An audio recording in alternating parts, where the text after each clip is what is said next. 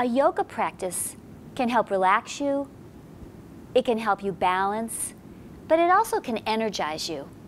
Today we're going to go over a couple postures that link together that can help you energize and wake you up.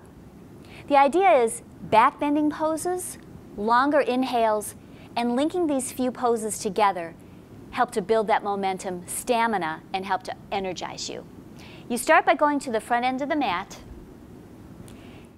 lengthen up, really lift, lift your body up. The key here is as you exhale to bend back slightly. Nose dive forward and reach towards your toes. You don't have to touch the ground if you don't want.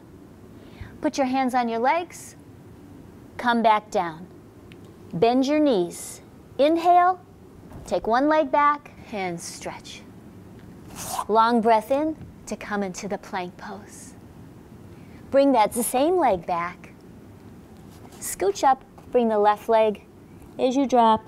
Scoop up to a back bend and come to namaste. The idea of that is, is linking the poses together, cumulatively adding to build up your heart rate.